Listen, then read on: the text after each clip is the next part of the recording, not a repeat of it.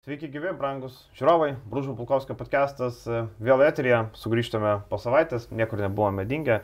Ir šiandien vėl turime ką aptarti. Žinoma, kad pagrindinė tema yra Žalgerio ryto rungtynės, kurias laimėjo Žalgeris, bet prieš tai gal mes šiek tiek duosim informacijos bendrai ir patronam, ir tiem, kurie dar nėra patronai, taip paskatinant tapti tais patronais. Tai pirmiausia, Algymanto yra naujo analizė šeštadienį neišleista, tai yra apie ryto varžovus top 16 grupėje. Įsimi analizė, 10 minučių viskas koncentruota, gera informacija. 3 eurų rėmėjai turi tą vaizdo įrašą. Jo, sveiki visi, tai apie ryto varžovus kažkiek dar pakalbėsim ir antroji daly iš to podcast'o, tai yra patronams skirtoji daly. Daugiau apie čempionų lygą, apie įdomiausius ten žaidėjus, kurie galėtų dominti Eurolygos komandas, tai kas nėra patronai, jungkitės. O šokam turbūt prie aktualiausio dalyko, galima sakyti, to čia ir susirinkom, pakalbėti apie rytą žalgyrį, apie mačą, kuris turbūt yra preliudija visai neblogą finalą. LKL. Taip, didelė problema dabar Avia Solutions Group arenoje, kadangi ir visus leidžia pro vieną įimą pagrindinį ir susidaro milžiniška eilė. Daug žmonių, turbūt dar visą pirmą kėlinį stovėjo laukia, laukia. E, dabar ir su parkingo vietom problemos, nes COVID testavimus užėmė visą aikštelę, tai dėl to buvo skatinama visiems važiuoti viešuoju transportu. Na, žodžiu, tokia logistika. Nesuprantu, kodėl tik pro vieną įėjimą leidžia.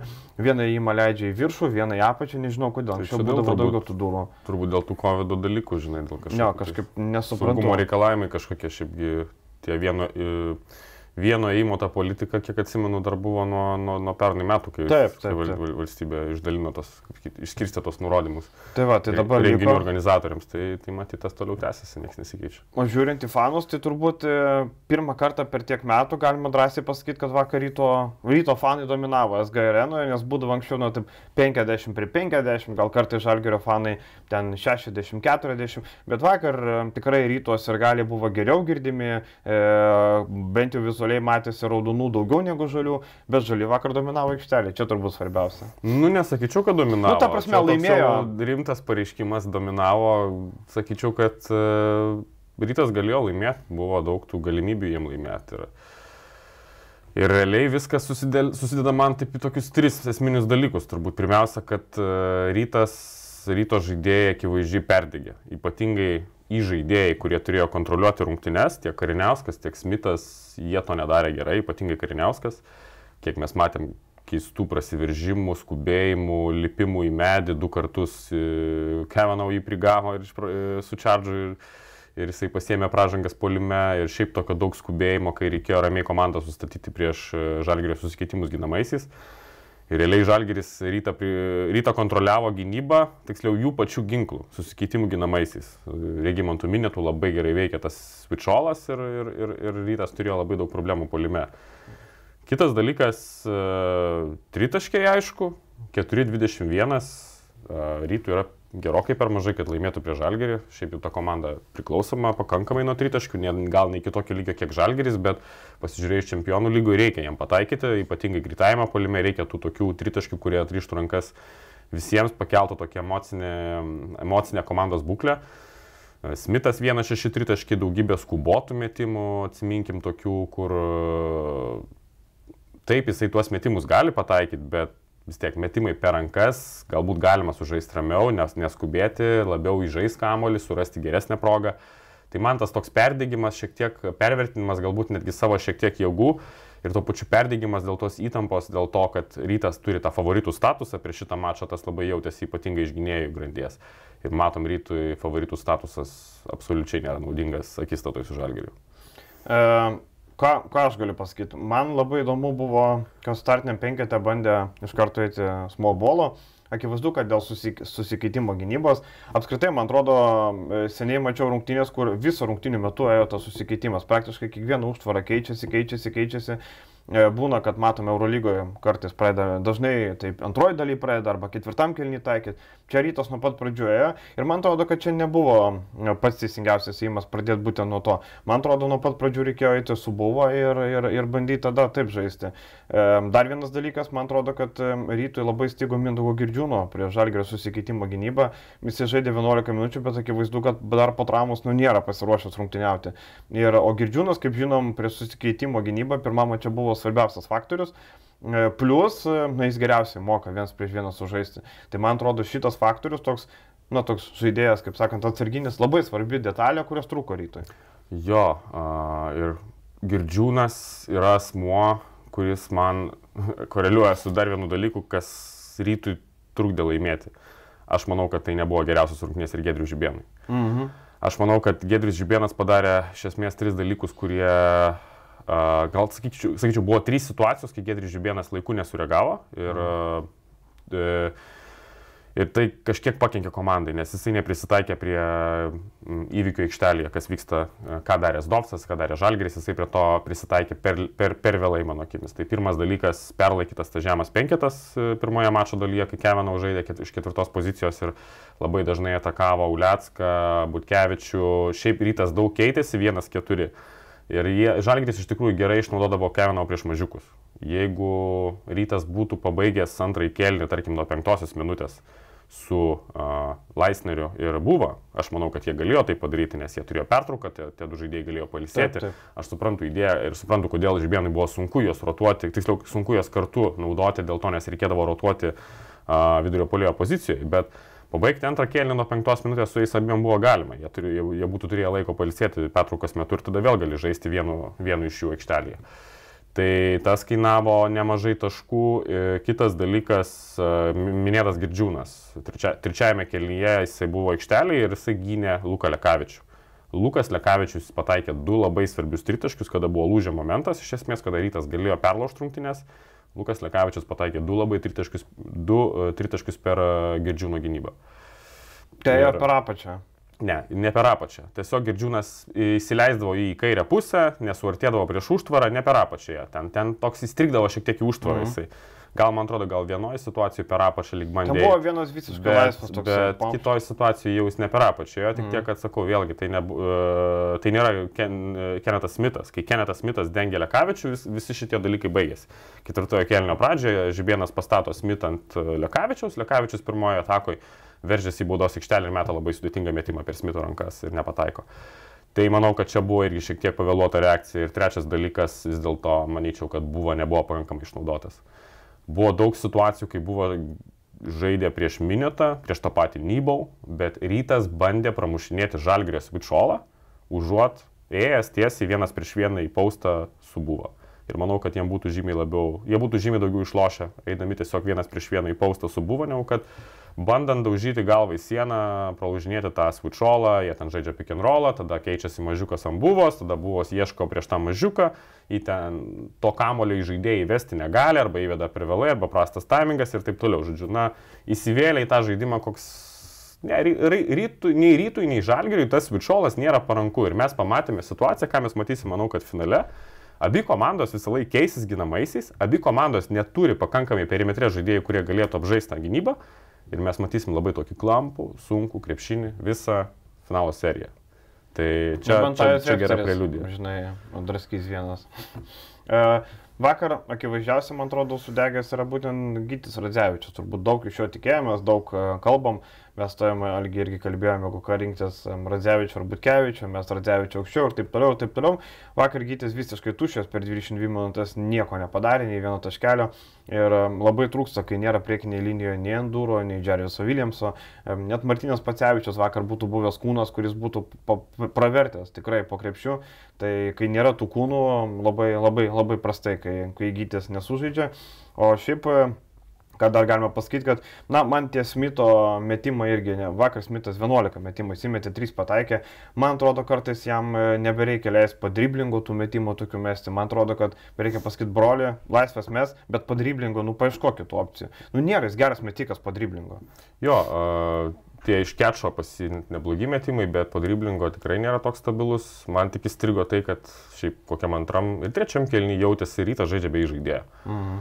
Uh, Smithas žaidė tiek minučių dėl to, nes Kariniauskas žaidė dar blogiau. Dar blogiau kontroliavo komandą, dar, dar labiau buvo išsimušęs iš, iš, iš ritmo, toks visiškai nekoncentruotas, darė visiškas nesąmonės.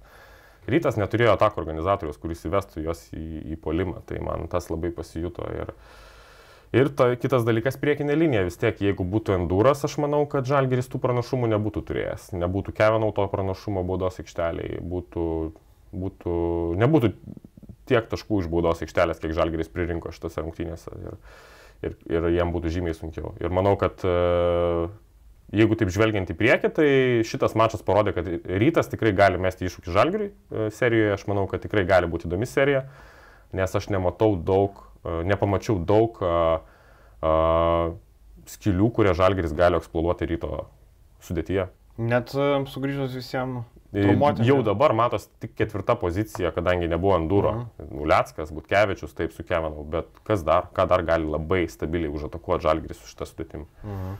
e, kalbant apie žalgerį, na ką, e, matėm vidurio polėjai E, abu klasikiniai vidurio poliai, vienas 10 minučių, kitas vos 16, matėm, kad e, netiko tai gynybos sistemai, Marekas neblogai pradėjo, Nybo apskritai buvo sužaidęs vos 5 minutės, bet labai daug minučių gavo po to, pačioje pabaigoje.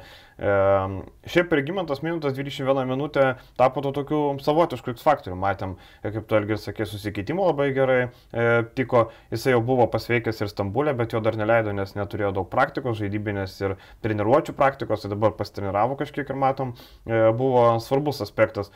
Bet Nilsas Gifajus, kurį aš aršiai kritikavau ir e, penktam kilinį, vėl vertas kritikos nu, per 11 minučių, nu, tragedija, dar viena tragedija. Jo, išėjo iškart klaida, iškart jisai pirmoje atakoje turi įvesti kamolį būdos aikštelę prieš Tučolą, iš karto prastas pasas, perimtas kamuolys.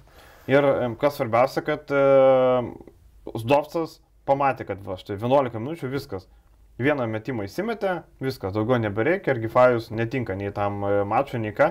Ir man atrodo, šitos rungtynės parodo ir Lukošiūno tam tikrą numušo hypo po didelio e, hypo, kad štai čia naujas Milaknis, palikim, duokim ateitis, duokim žaisti 30 minučių Euro lygoje, kad, na, Lukošiūnas nėra tos geras, kaip pasirodė Stambulė, ar nelgi? Jo, mm, reikalas toks, kad e gerą žaidėją apibrėžia ne vieno mačo pasirodymo, jo pastovumas, stabilumas, kiekvieno mačo, kiekvieno mačo žaidimas panašiame lygyje, kuris turi būti gana aukštas. Tai Lukašiūnas kol kas sužaidė vienerias rungtynes šį sezoną, sakykime, reikia palaukti, pasižiūrėti, kaip jis atrodys toliau. Matosi, kad Zdovcas jo pasitikė ir aš pasakysiu tik tiek, kad e, man patinka jo progresas gynyboje, 2 prieš 2 mhm. gynyboje ypač, tas jautėsi uh, Eurolygos rungtynėse. Uh, vakar gynyboje jam buvo sunkiau, bandė jį ten atakuoti iš karto Normantas ir išsikį praėjo, vėliau jisai susigynė prieš Normantą, bet jautėsi, kad rytas ant jo užkabinės taikinį ir šiaip pakankamai neblogai patakavo. Nuo pat pradžių to nuo pat, nuo pat mačo mhm. pradžios. Tai ta individuali gynyba dar jo tikrai turėtų būti stiprinama, bet komandinė gynyba ir tas 2 prieš 2 situacijos, bent jau, bent jau mačia Stambule, man, man labai gerai susižiūrėjo. Tai dėl to jis ten ir žaidė tiek minučių, ne dėl to, kad jis tas tritaškius pataikė, aš sakyčiau, aš manau, kad dėl to, kad jis gana solidžiai atrodė gynybai. Ir dar galima pridėti, kad vakar jisai neturėjo progą ir neforsavo du metimai per 23 Taip. minutės, tai labai gerai, kad ne, nemėtė nesąmonė. Bet vakar turbūt geriausias žaidėjas aikštelė buvo Edgaras Ulanovas, kaip be pažiūrėsi, tai buvo ta figūra, kur tu matai, kad, e, nu tikrai, Nernas Butkevičius ir Negytis Radzevičius geresnis, čia bandė svarstyti ir kiti kolegos podcast'e, ar, ne, ar geresnis, ar blogesnis, bet vakar Ulanovas puikiai parodė, kad šiuo metu trečias numeris jis geriausias Lietuvoje ir visi kiti gali slėptis po stalu. Jo, žaidžiantis Lietuvoje. Jo. Taip, žaidžiantis Lietuvoje. Uh, Nuo pat mačo pradžios labai agresyvus, iš karto prasiveržimai, pritraukė ten du kartus sukūrė komandos draugams pirmajame kelnyje, nu, ten pirmom minutėm. Visas mačas toks labai užtikrintas ir iš tikrųjų jo tie du tritaškiai išsprendė, išsprendė rungtinę žalgiriui. Edgaras Sulanovas yra LKL derbio žaidėjas. Jeigu mes atsiminsim istoriškai, visą laiką jisai sužaidžia prieš rytą gerai. A, gal pavieniai. Pavieniai mačai. Ne, finalus. Jo, pavieniai mačai gal nelabai kažkokie pavyksta, bet, bet realiai jisai yra faktorius visą laiką šitoje akistatoje. Šaltų nervų, užtikrintas ir, ir turi tą fiziškumą, kuris reikalingas šitiem derbiam ir turi tą tokį kovingumą. Matėsi, šį kartą matėsi ir meistriškumo pranašumas prieš, prieš tiesioginius oponentus ir, ir, ir, ir patiko gal tai, kad iš tikrųjų jo nemažai ir ieškojo, jis nemažai, nemažai žaidė paustę, nemažai, Zdovcas nemažai jo ieškojo iš tikrųjų polime ir tas pasiteisino. Ir galim turbūt pasakyti įsibės dėlį, kad na, trenerių mikro dvikova šį kartą Dovcas laimėjo užtikrintai. Ir pagal sprendimus rezultatas nėra užtikrintas toks, bet pagal sprendimus, pagal reakciją šį kartą Jūrijos Dovcas laimėjo. Po labai prasto pasirodymo Stambule. Žiauriai prasto. Padarė... Paskaitė tavo tekstą ir padarė. Arba jam kažkas parodė. um, Zdovcas padarė išvadas, jisai žymiai geriau reagavo e, su taimautais, buvo kelios situacijos, kada Atrodo, kad kitas žmogus vadovauja komandai. Taimauta, buvo aiškesni akcentai, ką atakuoja, su Kevinu atakavo tos ketvirtus numerius. Šiaip sakyčiau, galėjo dar labiau tą, tą pranašumą išnaudoti, ypač antroje mačo dalyje, ten tikrai mažokai žaidė per Kevinau, bet, bet vis tiek pirmoje pusėje jis buvo faktorius ir, ir atrado tą patį Ulanovą ir, ir apskritai ir gynyba šiaip gana gerai veikia. Ir tie penketai, tas žaidimas su minėtų pataikymas, e, ne, pataikymas su to penketuku ir laikymas minėto pasitikėjimas juo, kai jisai neblogai atrodė. Nu, žodžiu, ir buvo tikrai daug teigiamų dalykų ir manau, kad, kaip tu sakai, trenerių dvikova šį kartą laimėjęs Dovcas. Ir aš bandau, žinai, galvoti, kodėl taip skiriasi trenerio reagavimas e, ketvirtadienį ir sekmadienį. Man atrodo, kad Dovcas Stambulė pats negal, nepatikėjo, kad čia mes galim laimėti. Man atrodo, kad kaip jisai sako, žaidėjo kažkada netikė. Man atrodo, kad pats Dovcas kažkurio metu neįsijungė mygtukas, kad seniai ne minus 10, o plus 10. Mes kontroliuojame, mes esam prieki. Man atrodo, kad čia ir tas faktas biški gali duoti galvą. Ja, gal, gal kažkas po tų rungtynių jam pasakė, parodė pirštų, Jūrė, atsimink, turi taimautus, gali juos naudoti, šiaip turi tokią privilegiją kaip, kaip treneris. Jo, ir e, labai daug e, vakar žmonių e, man ir privatą rašė ir komentaruose, kad va, Evaldas Biršininkaitis atėjo, Žalgis prieš šitą visai kitaip žaidė, visai kiti išnaudojimai, visai kiti pranašumai. E, tai nežinau, šito mes nepatikrinsim, bet jeigu žmonės taip sako, tai gal, gal žmonės geriau žino negu mes e, tebūnė. E, o šiaip, e, jo, buvo ir tas, kad e, aš pats prognozavau ryto pergalę ir taip toliau. Visų logiškai dėliojant, kaip sakant, eilinį kartą matome, kad sportas, e, na, sportas dažnai nėra apie logiką, kaip sakant. Ne, jeigu būtų apie logiką, tai lažybo kontoros neturėtų nei vieno pinigo, kaip sakant, nes e, viskas, viskas būtų į tą pusę, kur favoritas, kur aišku, kur laimėsi. Čia dabar vėl rytas matom favoritas ir kas gavosi. Tai labai į tą pusę galima parekomenduoti Dainius Udomaičio, TED kalba apie psichologiją psichologija, kiek tai svarbi sportui ir kiek svarbi krepšiniui, tai realiai psichologija turbūt labiau svarbi negu taktika ir kiti dalykai, ypač tokiems mačams, tokiems derbėms, kaip, kaip, kaip matėme. Aš galvoju, mano hipotezė, jeigu rungtynės būtų vykusios Kaune, ne Vilniui, aš galvoju, kad rytas būtų laimėjęs, nes būtų atvažiavęs į iššūką be didelio, be didelio žiūrovo palaikymo ir būtų kitaip. Aš manau, kad jiems tas labai neigiamą pusę nuėjo. Tas užhypinimas, tas toksai, kad jūs turit laimėti, žinai, jie labai įsitempė, perdegė kažkiek, tas jautėsi nuo pat mačo pradžios. Tai va, tas underdogų statusas turbūt kaip ir Normantas mėgsta sakyti šunis, vakar jie nebuvo šunis. Ne. Vakar Žalgris labiau buvo šunis negu rytas. Tai va, man atrodo, rytui reikia grįžti į šunų rolę ir tai padaryti kuo greičiau. Čempionų lyga šią savaitę reikia vėl kipti varžovom į koją ir nežiūrėti, kas favoritas, kas outsideris. O šiaip galima dar gal taip pabaigai šiek tiek pakalbėti apie teisėjimą. Jo, galima. Aš galvoju, Būtinai. šiaip aš nelabai mėgstu apie tai kalbėti, aš mm. nesuprantu iki galo, man tikrai nesijaučiu specialistas kalbėti apie, tai, apie arbitrų darbą, nes aš ten tų visų niuansų taip gerai nežinau. Mm. Nu, bet man susidarė įspūdis, kad nuo trečio kelnio pabaigos kontaktas buvo traktuojamas neligiai vertiškai. Atsiminkim. Į kurią pusę? Nesakau, kad į kažkuria pusę, aš gal taip pasakysiu, pavyzdžius pateiksiu. Arno Butkevičiaus situacija, kovojimas dėl kamulio trečiojo kelnio paskutinėmis ten sekundėmis, Nybo ant jo užgrūna, pažangos nėra. Vėliau nėra pažangos prieš tą patį Butkevičių. Kalbėjau, tiksliau, tas pats epizodas, bet vėl, e, aš taip skaitau, pagalvoju tiesiog. Vėliau buvo Kalniečio alkūnė į Normantų įveikti. Prabėga. Mhm. Pažangos nėra mhm. kažkodėl. No, e, toliau žiūrim Girdžiūno pažanga metimo metu, ten, kur jos turbūt nelabai buvo. Mhm. Kariniauskas veržiasi, e, prieš šį metimo metu pažangos nėra.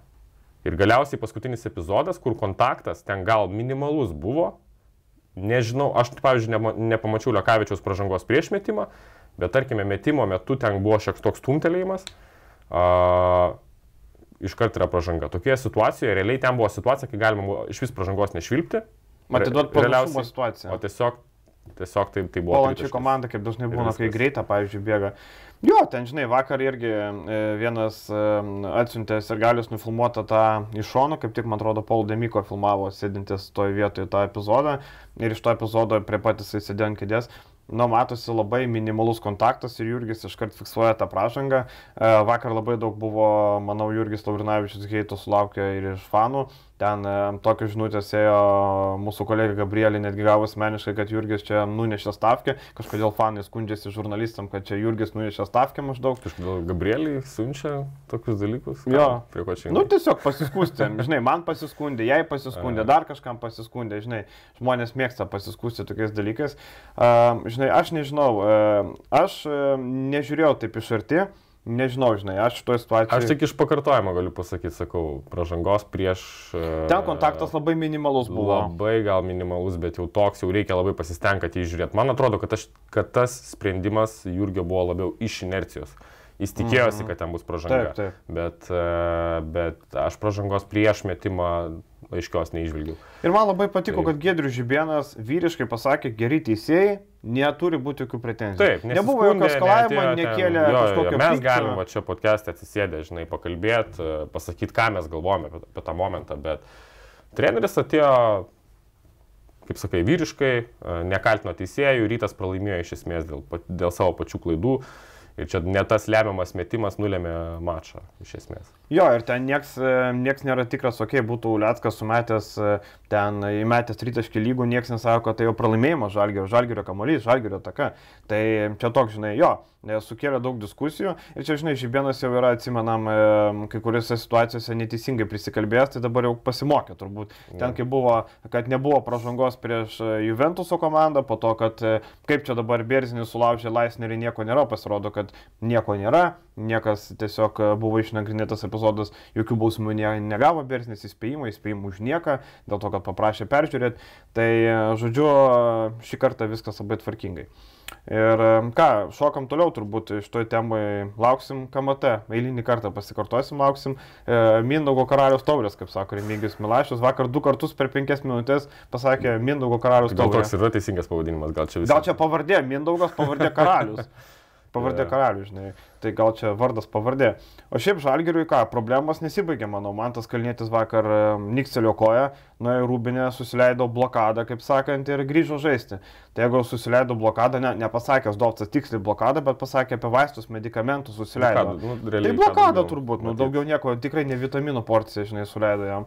Tai e, turbūt, kad gali būti, kad ir kalniečių netenka žalgeris, bet strėlininkas turėtų pradėti traumuoti- traumuotis, tr- treniruotis pirmadienį.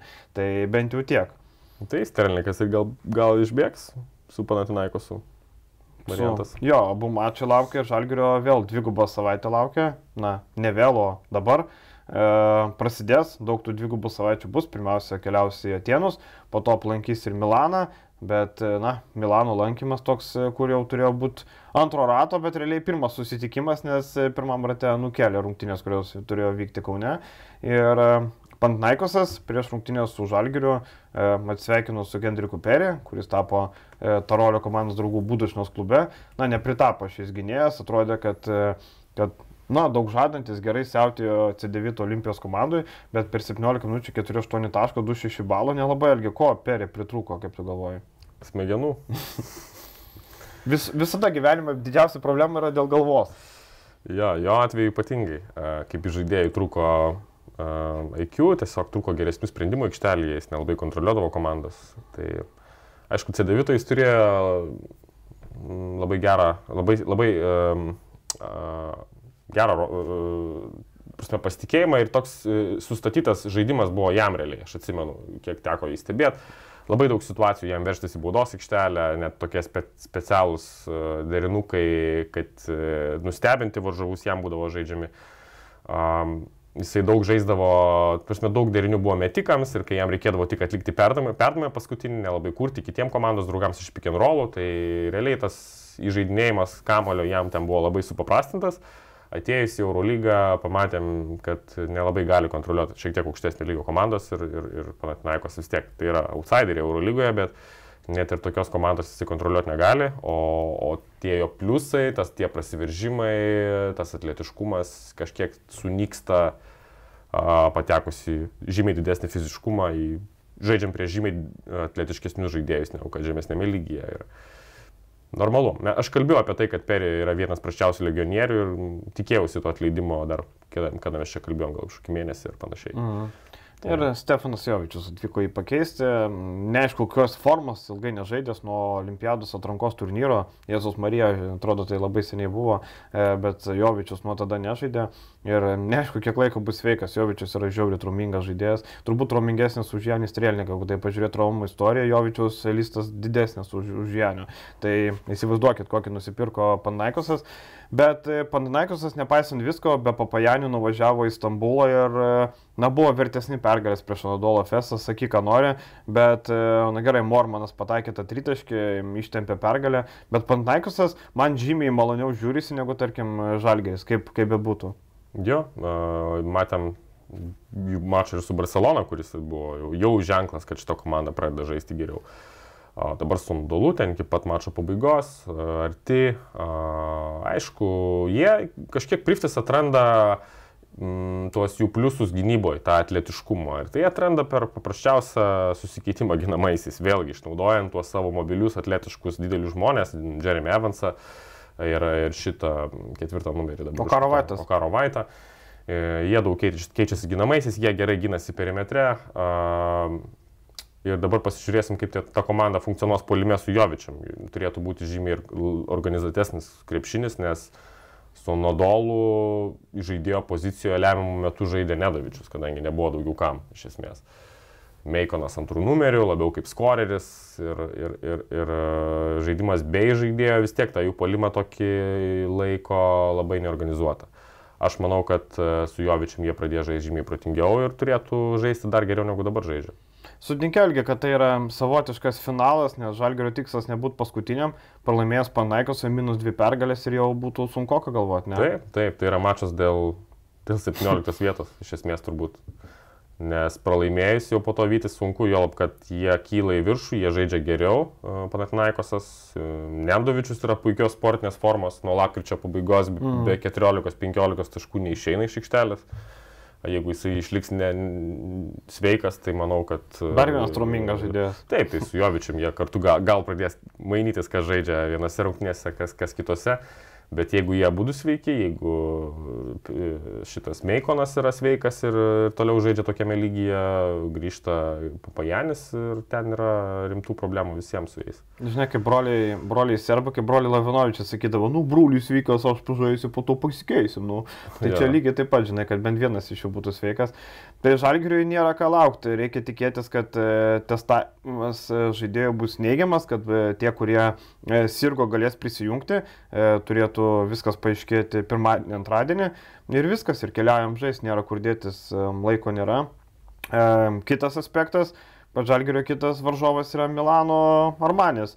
Atrodo komanda, kuri išbirėjus, e, turinti problemų, nėra šilco, bet Milanas, e, grįžęs po koronos, nugalėjo Alba, nugalėjo Barceloną, nuvažiavo į Maskvą, 57 taškus praleido ir pasėmė Saską. Apie Saską aš lab, norėčiau labai daug kalbėti, bet mes palauksim kito mėnesio mūsų Pirmos tradicinės laidos. apžvalgos. Ja. Eurolygos ten galėsim paburnuoti, nes aš jau matau, kad Saska net e, pateks į atkrintamasis, bet be namų aikštės pranašumo mano toks longshotas. Taip, tai aš kalbėjau, sakiau, aš taip. netikiu CSK dar, dar, dar anoj pirmoje, pirmo mėnesio laidoje, aš tą patį sakiau. Nemanau, kad šita komanda pradėjo žaisti geriau žymiai negu kad dabar žaidžia. Ir ką Milanas? Milanas e, nuo gynybos, nu ką, kitaip nėra ką sakyti. Matom, kad komanda prieš CSK Maskvoje viską nuo gynybos statė, buvo labai negražus mačas. E, tikrai tokio nereikia rodyti, jeigu nori reklamuoti Eurolygą, ne šitą mačą reikia rodyti, tai nerodyti niekam jo, e, bet, bet pergalė pasiekta, nu ir ką. E, matom, Trojus Danielsas sugeba sužaisti, e, Devonas Holas iššauna, Kailas Heinzas dominuoja, nepaisant to, kad e, turi CSK Milutinovą ir kitus, bet senukas Heinzas vis dar yra top Eurolygos centras, kaip bebūtų. Dar tęsiant, žinai, atrodo, nėra Šilco, nėra Mitoglų, Bet Nikola Melė 28 minutės 0,3 metimai tragedija. Nikola Melė tokius pinigus gauna, toks įdomus pirkinys, bet pastaruoju, žaidė šiaip neblogai sezono pradžioje, bet pastaruoju metu nu šešėlis, nežinau, kas čia pražaidėjęs. Su Barsa 10 surinko. bet, 8, bet šiaip tai... 8. 8. Tai. Bet šiaip tai jo vaizdas tai tragiškas, iš tikrųjų 28 minutės netaško, 3 metimai žaidimo. Um, ne to tikėjausi iš Melį ir net ne to turbūt ten visi Milanė tikėjosi, vis tiek galvoja, kad jis bus vienas lyderių. To visiškai neduoda ir savo, ir tų lūkesčių absoliučiai nepateisina. Tai nežinau, kaip toliau dėliosis jo sezonas. Uh, bet jie rado tų kitų ginklų, tai kaip ir, kaip ir minėjai, Danielsas 4-7 tritaškiai uh, buvo labai svarbu jiems, aš manau, tos pergalės siekiant, kadangi polimas šiaip nefunkcionavo, tai reikėjo atrasti bent jau vieną kitą, kuris galėtų pataikyti krepšį. Uh, kitas žaidėjas Kelas, man visai patiko tas jų naujokas, uh, aš galvoju, kad tai tikrai parodė, kad turi potencialą įsitvirtinti Eurolygoje. Visų pirma, turi gerą kūną, toks fiziškai tvirtas, 1,96 m, 2-3, gerai kūrė savo metimą, aš sakyčiau, iš tų pick and rollinių situacijų. Uh, tas vadinamas in-between game, uh, vidutinio nuotolio žaidimas, mhm. flauteriukai, tokie atšokus metimai, gerai sugeria kontaktą, balansas geras, gali užsibaigtos prasiveržimus, tik tais metimas, matos, nėra, nėra jo kokybiškas, bet uh, Bet žalgiriui gali būti reikalų, sunku pasakyti, kas jį gins, bet, bet gali būti reikalų su juo du prieš du situacijose. Jis pakankamai, pakankamai atrodo neblogas koreris. Tai va, tai daugiau tai tenka pas juos. Vėl tas pats Vičiolas e, ir, ir Žalgiriui reikės, jo, Žalgiriui reikės ieškoti, ne, tai Žalgiris matyti jis ieškos vis tiek e, centrų savo baudos aikšteliai, Marekas vėl turės ten kovo dėl pozicijos ir po to klausytis tautvydo Samonio riksmų, kaip jis, to, kaip jis kažko nepadaro. Kas yra labai gerai, man labai patinka, kad, kad Sabonis įpušina, kad matos taip laiko ant trumpo, žinai, išreikalauja iš jo, bent jau vienas kažkas iš jo reikalauja, žinai, maksimumą. Um, e, Bet uh, Žalgeris turi išnaudoti Milano vieną didelį trūkumą, dėl ko jie pastaruoju metu turėjo daug problemų, tai kova dėl atšokusių kamuolių. Antri šansai. Milanas visą laiką pastaraisiais uh, mačais, ypatingai kai nebėra mitoglų, turi problemų su atkovotais kamuoliais. Tai pasižiūrėsim, kaip seksis tuo pasinaudoti. Neibal galėtų kokius 4-5 tikrai nugrėti, aš manau. Čia skanė 17 kamuolių polėme nusėmė. Pasižiūrėkim, tai wow. Šiaip iš tų, kur e, į Eurolygą iššoka sezono vidury, tarkim, Trikelas arba dabar va, Zenito atveju matom e, būtent Carterį, ar ne, man visai labai įdomu, kaip jam, e, kaip, kaip jam sekasi, ar ne, kaip jam, kaip jam pavyks pritapti, ar ne. Man atrodo, sezono vidury iššokus reikalavimai gerokai mažesni, tarkim, jeigu per sezono vidury iššoktų į Pananaikosą, būtų, man atrodo, šiek tiek geriau negu nuo sezono pradžios, nes kai komanda perka prie sezono, lūkesčiai kiti negu vidury. Dabar Kelas, tarkim, atvyko, na, toks padengti, nėra šilso, čia reikia reikia, e, grantas nefunkcionuoja, tarsi reikia kažkokių čia papildymų, kažkoje to antroje, antroje trečioje pozicijoje, bet e, Nu, matai, priklauso kokie roliai perka. Jeigu, tarkim, perki prieš, prieš sezoną atsarginio žaidėjo vaidmenį, tai tie žaidėjai įsitvirtina. Tas pats Devonas Holas geras mm. pavyzdys. Nu, nepirktas jis kaip kažkoks lyderis ar vedlys, žinai. Netgi startinė penketo žaidėjas, aš manau, jie nesitikėjo, kad jisai bus toks, toks geras, kad žais tiek minučių starto penketą. Ir prašau, neturėjo tų didelių lūkesčių ir įrodė. Uh, kitas, kita vertus peripirktas kaip žaidėjas vos nepagrindinis. Tai, mm. tai Tas tai lūkesčiai. Markelas Tarksas dabar atvažiuoja Fenerbakčiai, labai įdomu, kaip jis atrodys irgi žaidėjas, kur kažkada rytos ir gali labai norėjo į Aftodorą, dėl to, kad e, žaidė e, pas, e, pas kairį. Bet matom, Starksas nukeliavo. Jis ir žaidė pas. Uh, ne, jo norėjo į rytą ir gali. Taip, taip, norėjo į rytą labai. Rytą. Taip. Uh mhm. -huh. bet ne, netvyko Starksas. Čia buvo, atsimenu, didelis hypas tada, kada Demetriusas Jacksonas išvyko ir sako, va, čia Starksas, Starksas. Tarksas į kokie pasuko, šiaukės Fenerbakčia, tai vad bus dar vienas. Šiaip patyręs jis Europoje, matęs daug e, skirtingo lygio, mm, kodėl ne. Aišku, jis nežaidė tam, sakykime, aukštesniam lygiui, šiek tiek mm. Europos taurė beras nėra žaidęs. Bet, e, bet 30 metų žaidėjas, nuo suolo, jeigu kylantis, šiaip gerą metimą turi po driblingo, toks staigus. Um, bus įdomu pasižiūrėti. Nesakyčiau, kad čia jau toks prastas šūvis. Gal, ne, gal, tai... gal ir pasiteisins. Tai kalgi, manai, per du mačius bent vieną pergalytę paims Algeris šią, šią savaitę? Mm, manau, kad nepaims.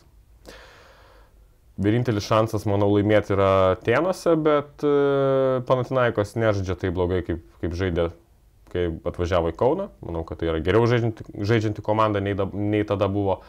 A, tai nelabai matau iš nelabai matau tiesiog kažkokių tai uh, žalgerio didelių pranašumų prieš tą komandą, ką galima būtų labai atakuoti ir, ir, ir, ir, ir tiesiog nelabai matau, kodėl jie turėtų laimėti.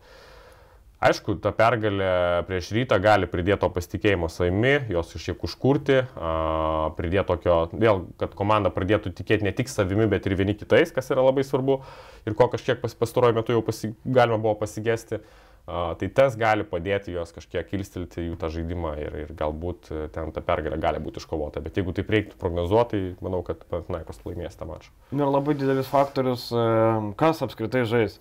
Ar man tas traumos gali jo. žaisti, ar strėlininkas grįž, ar e, po COVID galės prisijungti bent vienas žaidėjas, ar bus neigiami tie testai. Žinom, kad su testais būna kartais, kad tu jau pasveikęs, jau laisvę galėjai, bet na, skristi užsienį ir žaisti Eurolygoje dar negali. Tai čia labai svarbus faktoriai, Tai kurie... ta forma kokia tiek laiko pasirgus įeiti į Eurolygos rungtynės yra labai sudėtinga. Tai va, to su 7-8 žaidėjų rotacija, tokiu intensyviu grafiku, bet treniruočiu, na, būkim bėdini, nu, sunku išvairuoti labai, ka- kaip, kaip bežiūrėtum. Tai va, tai šiaip trečiadienis anonsuojam, kad trečiadienis yra, na, pirmą kartą, labai seniai, ne pirmą kartą yra buvę, bet labai seniai pamenu, kad per vieną vakarą žais ir Lietkabelis, ir Rytas, ir Žalgeris. Tai yra e, žiauriai, žiaurinis vakaras fanam, kai viską pamatyti reikia ir kompiuterių, gero ir planšetės, ir televizorių. Jo, nieko gero Lietuvos Jo. krepšiniui. E, viskas vienu metu, kažkaip reikia suspėti, reikia, mes aišku viską prašysim, e, viską padarysim, mūsų pa, pajėgumai tai leidžia padaryti, bet e, žmonės turi tik dvi akis. O patirtis yra tokia, kai, kai tu žiūri du mačius vienu metu, tai nematai nei vieno, nei kito. Taip, taip, nematai nei vieno mačo. Tai va, tai... Išsirinkit savo mėgstamiausią, kurį, kurį labiausiai norit pasižiūrėti. Jo, įsirinkit ir viskas. Tai šiam viešai daliai pakaks, labai daug pakalbėjom apie žalgerį rytą, todėl e, užtenka, keliaujam į patronų dalį, ten kalbėsim apie visas čempionų lygos komandos ir žaidėjus, kurie galėtų būti įdomus Eurolygai, paprognozuosim, kas kaip kur kada. Ačiū, iki. Ačiū iki.